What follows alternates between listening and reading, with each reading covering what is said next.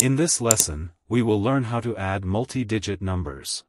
We have become familiar with how to add single-digit numbers together. Now, we continue adding two-digit numbers, three-digit numbers, four-digit numbers, and so on.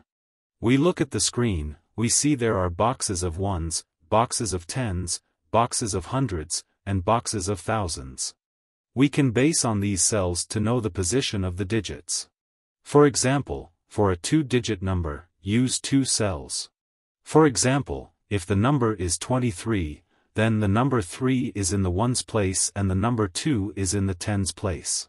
For three-digit numbers, take three cells, for example, 512, in which number 2 is in the ones place, number 1 is in the tens place, and number 5 is in the hundreds place. For four-digit numbers, use four cells, for example, the number 1476, in which the number 6 is in the ones place, the number 7 is in the tens place, the number 4 is in the hundreds place. And the number 1 is in the thousands place. Next, take the example of the number 25 added to the number 13. To understand how to perform addition. First, we write the numbers on top of each other, the ones in the same column. Tens in the same column.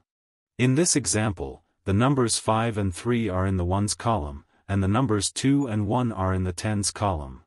Next, we place a plus sign to the left of the number 13, representing the addition between number 25 and number 13. And we draw a line below the numbers, which is the result of adding the numbers 25 and 13. Next, we perform addition for each column, first the ones column, then the columns to the left of that column.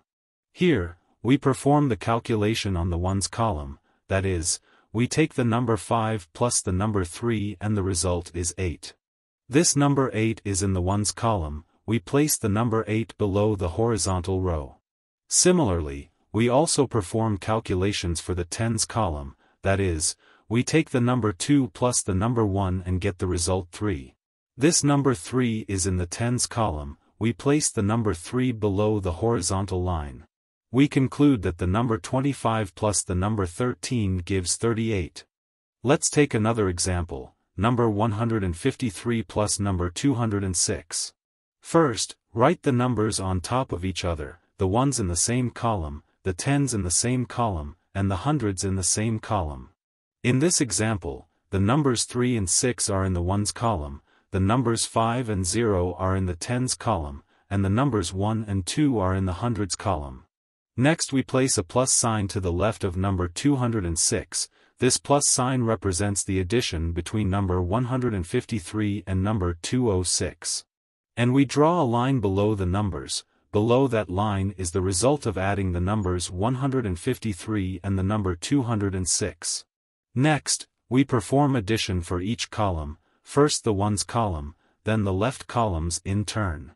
Here, we perform the calculation on the ones column, that is, we take the number 3 plus the number 6 and the result is 9.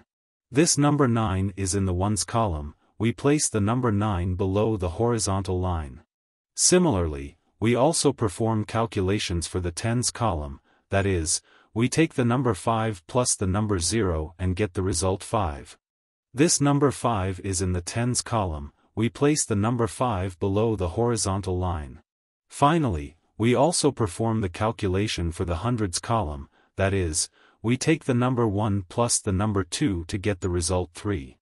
This number 3 is in the hundreds column, we place the number 3 below the horizontal row. We conclude that the number 153 plus the number 206 gives the result 359. Let's take another example, the number 1073 plus the number 521. First, write the numbers on top of each other, ones are in the same column, tens are in the same column, hundreds are in the same column, and thousands are in the same column. In this example, the numbers 3 and 1 are in the ones column, the numbers 7 and 2 are in the tens column, and the numbers 0 and 5 are in the hundreds column. As for the thousands column, the number 1073 has a 1 in the thousands column, and the number 521 does not have a number in the thousands column.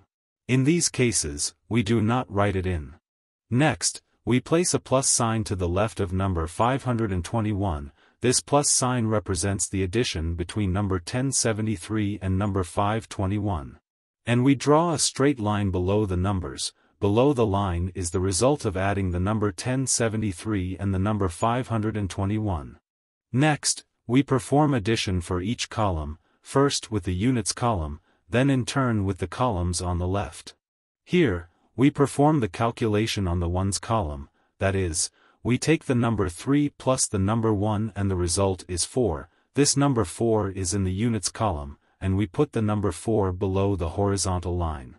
Similarly, we also perform calculations for the tens column, that is, we take the number 7 plus the number 2 and the result is 9, this number 9 is in the tens column, so we put the number 9 below the horizontal line.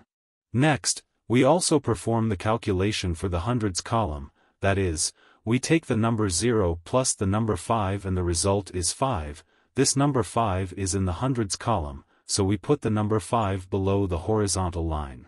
Finally, we also perform calculations on the thousands column, we see, that the thousands column has only the number 1, we write the number 1 below the horizontal line.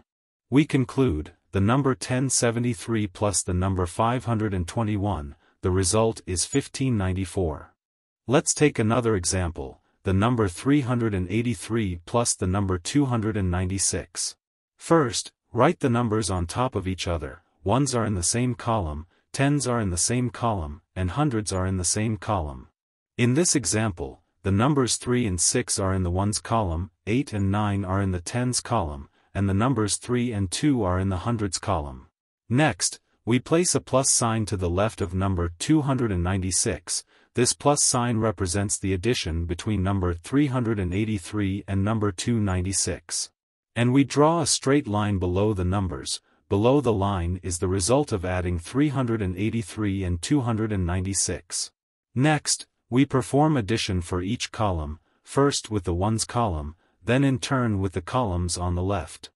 Here, we perform the calculation on the ones column, that is, we take the number 3 plus the number 6 and the result is 9, this number 9 is in the ones column, we put the number 9 below the horizontal line. Similarly, we also perform calculations for the tens column, adding the number 8 to the number 9 and the result is 17. We see the number 7 is in the tens column, we keep the number 7 stays in the tens column, we put the number 7 below the horizontal line, and the number 1 is in the hundreds column, we move the number 1 column up. Finally, we also perform the calculation for the hundreds column, that is, we take the number 1 plus the number 3, add the number 2, and the result is 6, this number 6 is in the hundreds column, so we place the number 6 below the horizontal line. We conclude, the number 383 plus the number 296, the result is 679. Through the above examples, we have understood the addition of multi-digit numbers. Here, we end today's lesson on adding multi-digit numbers. See you in the next lesson.